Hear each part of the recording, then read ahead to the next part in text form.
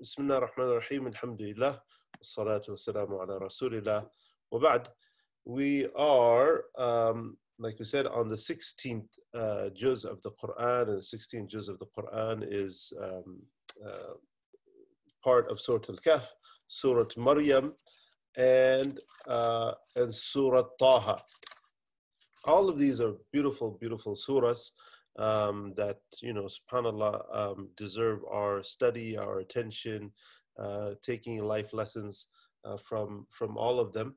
Uh, today i want to focus on the beginning of surah taha. Surah taha the 20th uh, chapter in the quran.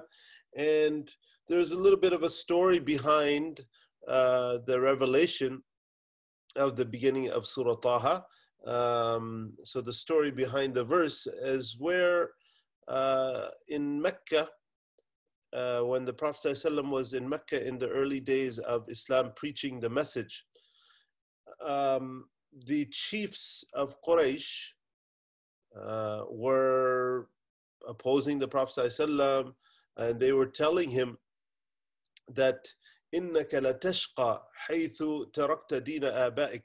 you know, they would tell him like, you know you're in distress. You've made your life stressful and a mess because you have left the religion of your forefathers right? This is the messaging that they would uh, tell the prophet ﷺ and they would they would uh, pound him with this you know? They would keep telling him this uh, and the prophet ﷺ is a human being with a heart and feelings and they would tell him to this, this to the point where he would be saddened by that. And the Prophet ﷺ would respond, بل بعثت رحمة للعالمين. He said, No, I was sent as a mercy for all of mankind, not as a as um, um you know, not as a uh, something negative or something bad the way in which you're placing it. And um, and the kuffar, they would say that, you know, this Quran was only revealed to Muhammad to cause him distress and all of these things. So Allah subhanahu wa ta'ala, He sends, that, he sends down uh, Surah Taha, Bismillah ar-Rahman ar-Rahim, Taha ma anzalna alayka al-Qur'ana litashqa illa tadhkiratan liman yakhsha. Um, Allah subhanahu wa ta'ala, he says in the translation that we have not sent down the Quran, Quran unto you to cause you distress. Rather, it is a reminder to those who fear Allah subhanahu wa ta'ala. And, uh, and it continues, these beautiful ayat continue.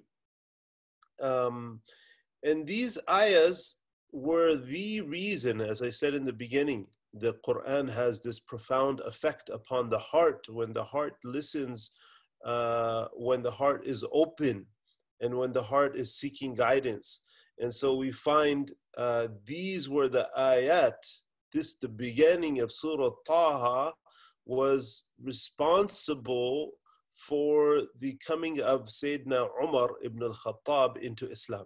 The great Sahabi uh, Umar, the great companion of our beloved Prophet, peace be upon him, uh, Umar became Muslim after hearing these verses. And so, briefly, I'll remind you of the story. You know, Omar was a staunch enemy of the Prophet.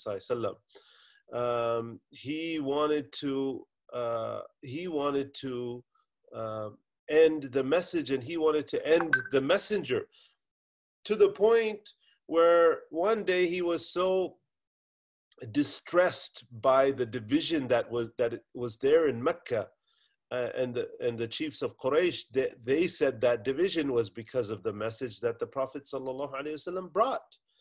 And Omar was one of his people and he had that same mindset. So he said, Today I'm going to end this, today I'm going to take the life of Muhammad. And so he sets out with his sword. Um, and Omar is a big, strong man who all of Mecca fears. They fear him, they respect him uh, people, you know, uh, part out of the road for him.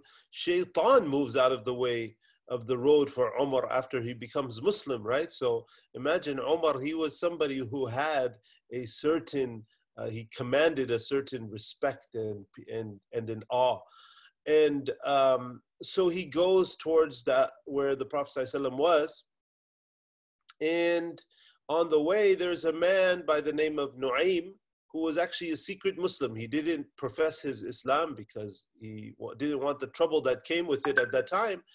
And he, he sees Umar and he sees he's upset. He said, Where are you going, Ya Umar? And he says, I'm going to end this affair.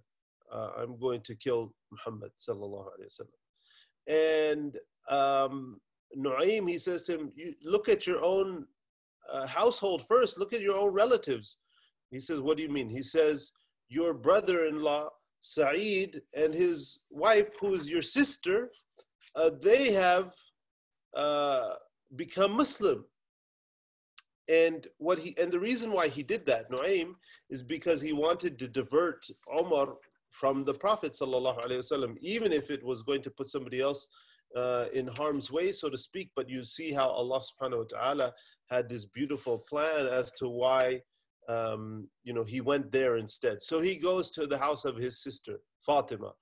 And as he approaches the house, he hears this, you know, this sort of um, murmuring that he can't really distinguish. So he barges into their home and he said, What is that noise that I heard?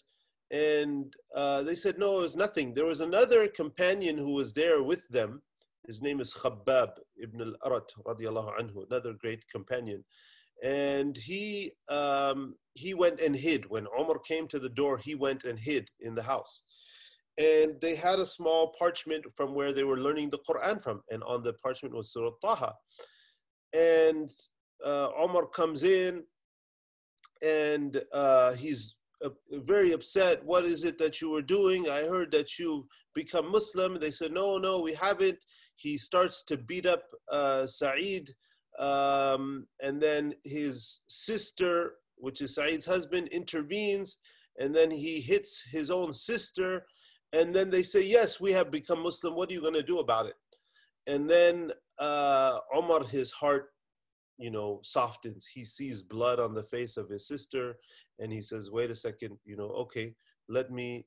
Uh, let me see what you are reading from so they see that he's calmed down a bit they said no you're you're you're not pure you have to uh, cleanse yourself so some narration said he made made ghusl more likely he made wudu and um and he comes and he reads Umar was one of the you know uh, few people in Mecca who could read uh, it was not a literate society and so he pulls out the parchment and he starts reading طه ما أنزلنا عليك القرآن لتشقى etc and these ayat in the beginning of Surah Taha are so powerful, are so impactful because they talk about um, the reality of, uh, of the Creator and His creation.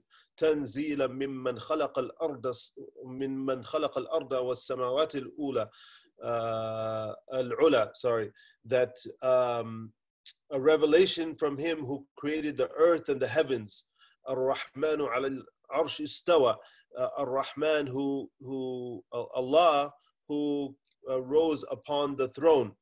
And, and the ayat go on so powerful, so impactful. And he says, these are beautiful words.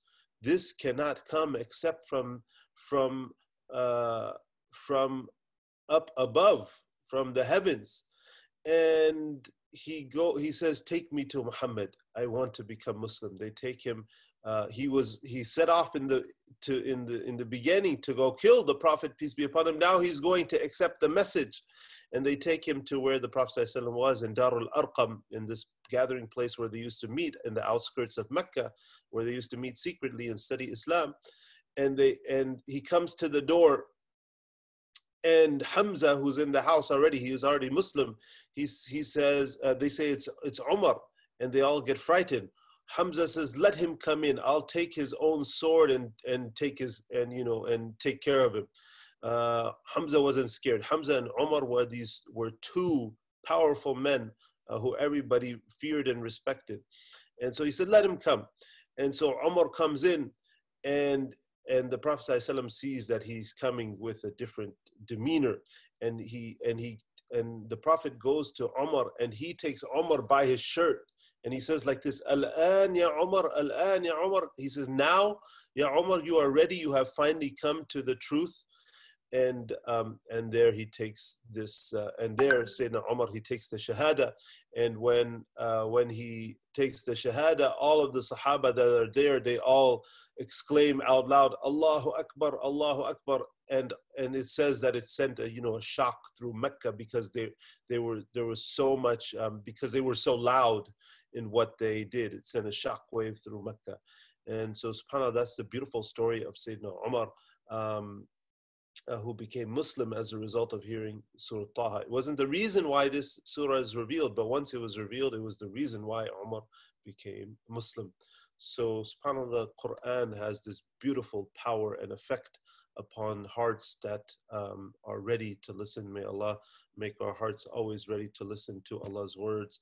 May Allah make our hearts affected by the Quran, the way in which um, uh, the righteous have always uh, been affected by listening to the Quran. Wa sallallahu ala Muhammad wa ala alihi wa sahbihi ajma'in.